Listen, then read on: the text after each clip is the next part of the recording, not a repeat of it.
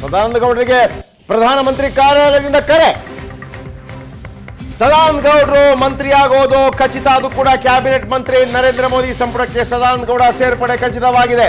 ಇದು ಈಗ ಬಂದಿರುವಂತಹ ಫಸ್ಟ್ ನ್ಯೂಸ್ ಅನಂತಕುಮಾರ್ ಅವರು ಇದ್ದಿದ್ರೆ ಬಹುಶಃ ಅನಂತಕುಮಾರ್ ಅವರಿಗೆ ಮೊದಲ ಕರೆ ಬರ್ತಾ ಇತ್ತೇನೋ. ಸದಾನಂದ ಗೌಡರು ಎರಡನೇ ಬಾರಿ ಕೇಂದ್ರ ಸಚಿವರಾಗಲಿರುವ ಡಿ ವಿ ಸದಾನಂದ ಗೌಡರು. ಕಳೆದ ಬಾರಿ ರೈಲ್ವೆ ಸಚಿವರಾಗಿದ್ದರು ಮೊದಲಿಗೆ. ಅದಾದ ನಂತರ ಬೇರೆ ಬೇರೆ ಖಾತೆಗಳನ್ನು ಅವರಿಗೆ ನಂತರ ನೀಡಲಾಯಿತು. ಈಗ ಸದಾನಂದ ಗೌಡರು ಕೇಂದ್ರದಲ್ಲಿ ಮಂತ್ರಿ ಆಗುವುದು ಖಚಿತವಾಗಿದೆ.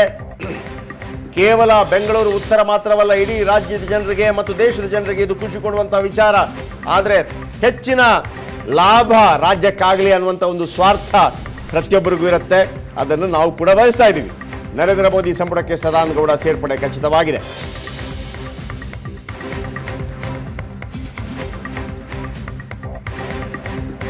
ಯಾರಿಗೆ ಪಿ ಎಂ ಓದಿಂದ ಪ್ರಧಾನಮಂತ್ರಿ ಕಚೇರಿಯಿಂದ ಫೋನ್ ಬರುತ್ತೋ ಅವರು ಕ್ಯಾಬಿನೆಟ್ ಸಚಿವರಾಗ್ತಾರೆ. ಯಾರಿಗೆ ಅಮಿತ್ ಶಾ ಅವರು ಕರೆ ಮಾಡ್ತಾರೋ ಅವರು ರಾಜ್ಯ ಕ್ಯಾಬಿನೆಟ್ ಅಂದರೆ ದೊಡ್ಡ ಮಂತ್ರಿ ಇರ್ತಾರೆ. ಮಂತ್ರಿಯ ಕೆಳಗೆ ಮತ್ತೊಂದು ಒಂದು ಸಣ್ಣ ಮಂತ್ರಿಗಿರಿ ಕೊಡುವಂಥ ರೀತಿಯಲ್ಲಿ. ಆನಂದ್ ಬೈದನ ಮನೆ ಇದೀಗ ನಮ್ಮೊಂದಿಗೆ ದೂರವಾಣಿ ಸಂಪರ್ಕದಲ್ಲಿದ್ದಾರೆ. ಆನಂದ, ಎಷ್ಟೊತ್ತಿಗೆ ಬಂತಂತೆ? ಯಾರು ಖಚಿತಪಡಿಸಿದ್ರು ಈ ಸುದ್ದಿಯನ್ನು? ಜಯಪ್ರಕಾಶ್ ಸದಾನಗೌಡರಿಗೆ ಮತ್ತೆ ಮೋದಿ ಸಂಪುಟದಲ್ಲಿ ಸಚಿವರಾಗುವಂತ ಭಾಗ್ಯ ಒಂದು ಬಂದಿದೆ. ಯಾಕೆಂತಂದ್ರೆ ಇದೀಗ ಕೆಲವೇ ನಿಮಿಷಗಳ ಮೊದಲು ಪಕ್ಷದ ಕಚೇರಿಯಿಂದ ಮತ್ತು ಅಧಿಕೃತ ಪ್ರಧಾನಮಂತ್ರಿಗಳ ಕಚೇರಿಯಿಂದ ಅಧಿಕೃತವಾಗಿರುವಂತಹ ಮಾಹಿತಿ ಡಿ ವಿ ಸದಾನಂದಗೌಡರಿಗೆ ಬಂದಿದೆ. ಹಾಗಾಗಿ ಡಿ ವಿ ಸದಾನಂದಗೌಡರ ಕಚೇರಿಯಿಂದ ಈಗಾಗಲೇ ಎಲ್ಲಾ ಪತ್ರಿಕಾ ಕಚೇರಿಗಳಿಗೆ ಮಾಹಿತಿಗಳನ್ನು ನೀಡಲಾಗಿದೆ.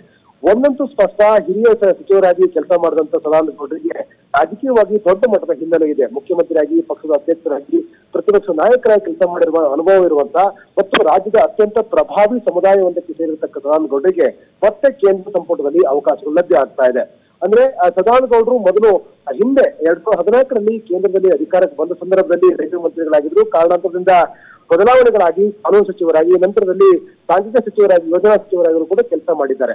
ಕೊನೆಗೆ ಸದಾನಗೌಡರು ಗೌಡರು ಈ ಬಾರಿ ಲೋಕಸಭಾ ಚುನಾವಣೆ ಅತ್ಯಂತ ಗಂಭೀರವಾಗಿ ಎದುರಿಸುವಂತಹ ರಾಜಕೀಯ ಸನ್ನಿವೇಶಗಳು ಕೂಡ ಕ್ರಿಯೇಟ್ ಆಗಿತ್ತು ಇಷ್ಟು ಮಧ್ಯೆಯೂ ಕೂಡ ಲಕ್ಷಾಂತರ ಮತಗಳ ಅಂತರದ ಗೆದ್ದಿರತಕ್ಕಂಥ ಗೌಡರಿಗೆ ಈ ಬಾರಿ ಕೇಂದ್ರದಲ್ಲಿ ಅವಕಾಶಗಳು ಲಭ್ಯವಾಗ್ತಾ ಇದೆ. ಇದೀಗ ಕೆಲವೇ ನಿಮಿಷಗಳ ಮೊದಲು ಕರ್ನಾಟಕದಿಂದ ಮಾಜಿ ಮುಖ್ಯಮಂತ್ರಿ ಆಗಿರುವಂತ ಡಿ ವಿ ಸದಾನಂದ ಗೌಡರು ಮತ್ತೆ ಕೇಂದ್ರದಲ್ಲಿ ಮಂತ್ರಿ ಆಗ್ತಕ್ಕಂಥ ಪಕ್ಕ ಆಗಿದೆ. ಡಿ ವಿ ಸದಾನಂದ ಗೌಡರು ಈ ಬಾರಿ ಯಾವ ಒಂದು ಖಾತೆ ನಿಭಾಯಿಸ್ತಾರೆ ಅಂತಕ್ಕಂಥ ಕುತೂಹಲ ಈಗ ಇರತಕ್ಕಂಥದ್ದು ಜಯಪ್ರಕಾಶ್ ಓಕೆ ಥ್ಯಾಂಕ್ ಯು ನಿಮ್ಮೆಲ್ಲ ಮಾಹಿತಿಗಾಗಿ ಬಹುಶಃ ನಿಮ್ಮಿಂದ ಕೂಡ ನಿರೀಕ್ಷೆ ಮಾಡ್ತಾ ಇದ್ದೀವಿ. ಯಾರಿಗೆಲ್ಲ ಫೋನ್ ಕಾಲ್ ಬಂತು ಆದರೆ ನನಗೆ ಬಹಳ ಕುತೂಹಲ ಇರೋದು ಪ್ರಧಾನಮಂತ್ರಿ ಕಾರ್ಯಾಲಯದಿಂದ ಯಾರಿಗೆ ಬಂತು ಮತ್ತು ಅಮಿತ್ ಶಾ ಅವರಿಂದ ಯಾರಿಗೆ ಬಂತು ಅಂತೇಳಿ. Thank you Anand.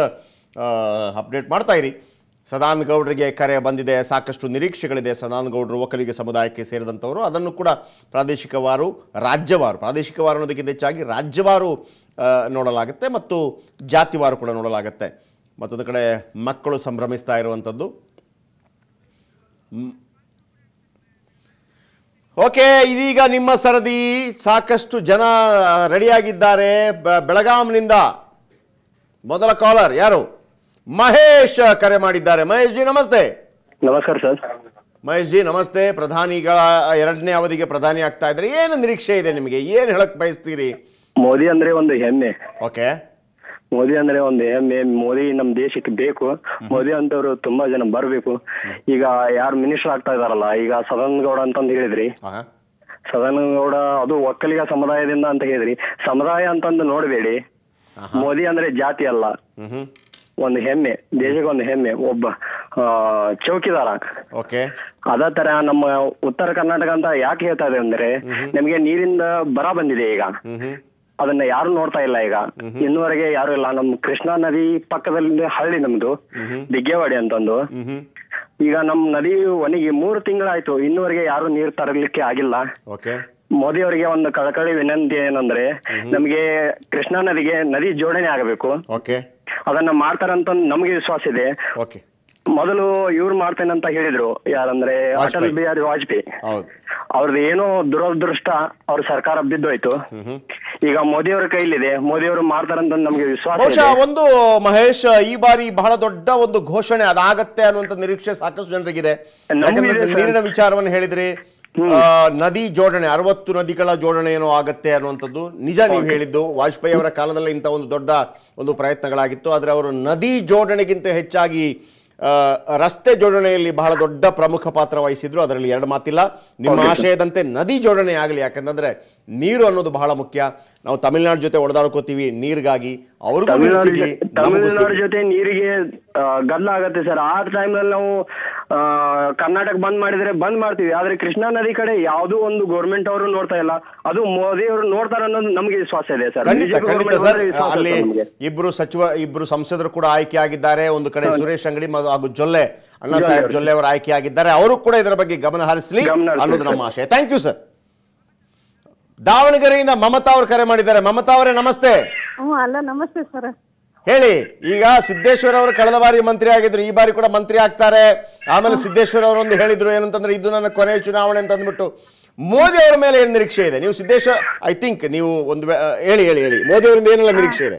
ಆ, ತುಂಬಾ ಖುಷಿ ಆಗ್ತಾ ಇದೆ ಸರ್ ಮೋದಿ ಅವ್ರು ಗೆದ್ದಿರೋದಕ್ಕೆ ಆಹಾ. ಇದೇ ತರ ಮುಂದೆ ಇನ್ನೂ ಅವರು ಮತ್ತೆ ಚುನಾವಣೆಯಲ್ಲಿ ಗೆದ್ದು ಗೆದ್ದು ಬಂದೆ ನಮ್ಮ ನಮ್ಮ ಕರ್ನಾಟಕ ಅಥವಾ ಹೊರದೇಶ ಇನ್ನೂ ಅವರಿಂದ ಅನುಕೂಲಗಳು ಆಗ ಅಂತ ಓಕೆ ಮೇಡಮ್ ಈಗ ಮಮತಾ ಮೇಡಮ್ ನಿಮಗೆ ಈಗ ಬೇರೆ ರಾಜಕಾರಣಿಗಳು ಕೂಡ ಇದ್ದಾರೆ ಅಲ್ವಾ? ನಿಮಗೆ ನಿಮಗೆ ಮೋದಿ ಯಾಕೆ ಇಷ್ಟ ಆಗ್ತಾರೆ? ಬೇರೆ ರಾಜಕಾರಣಿಗಳಿಗೂ ಮತ್ತು ಮೋದಿ ಅವರಿಗೂ ನಿಮ್ಮ ನೀವು ಅನಿಸಿಕೊಂಡ ಪ್ರಕಾರ ನೀವು ಅಂದ್ಕೊಂಡ ಪ್ರಕಾರ ಏನು ವ್ಯತ್ಯಾಸ ಇದೆ? ಏನಂದ್ರೆ ಸರ್ ಇದಾರೆ ಟಿವಿ ನ್ಯೂಸ್ಗಳು ನೋಡಕ್ಕೆ ಬೇಜಾರಾಗ್ತಿತ್ತು. ಈ ರಾಜಕಾರಣದ ಕಿತ್ತಾಟದಿಂದ ಏನು ಸಮಸ್ಯೆಗಳೇ ಪರಿಹಾರ ಇಲ್ಲ. ಬರೀ ಅವ್ರವ್ರ ಚೇರಿಗೆ ಅವ್ರವ್ರ ಶ್ರೀಮಂತರಾಗಕ್ಕೆ ಹಲೋ ಸರ್? ಈ ತರ ನಾವು ಯಾಕೆ ನ್ಯೂಸ್ ನೋಡ್ಬೇಕು ಅನ್ನೋದೇ ನಾವೇನು ಸ್ವಲ್ಪ ಓದಿದಾರ ಸರ್ ಬಹಳ ಓದಿದವಲ್ಲ ಟಿವಿ ಮುಂದೆ ನೋಡಕ್ಕೆ ಒಂಥರ ಆಗ್ತಿತ್ತು.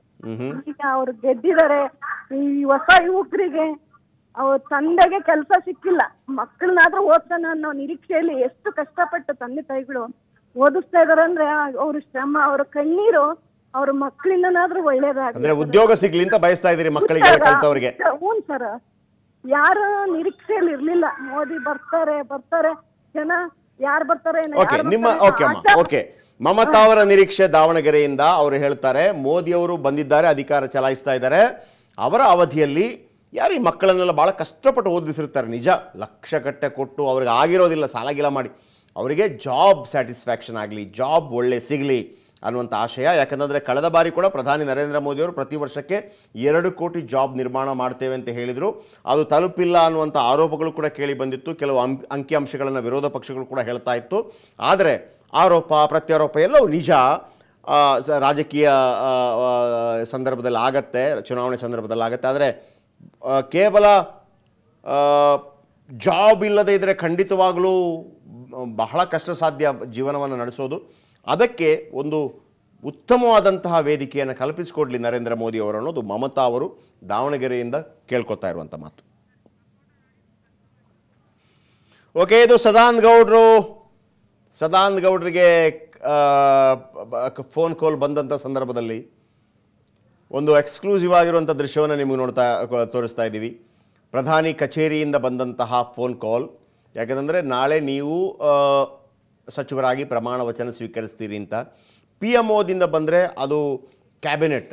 ಅದು ಎರಡು ಎರಡು ರೀತಿಯ ಸಚಿವ ಸ್ಥಾನ ಇರುತ್ತೆ. ಕ್ಯಾಬಿನೆಟ್ ಮತ್ತು ಸ್ಟೇಟ್ ಅಂತಂದ್ಬಿಟ್ಟು. ಸ್ಟೇಟ್ ಅಂತಂದರೆ ಸೆಂಟ್ರಲ್ ಮಿನಿಸ್ಟರ್ ಆಗಿರ್ತಾರೆ, ಕ್ಯಾಬಿನೆಟ್ ಮಿನಿಸ್ಟರ್.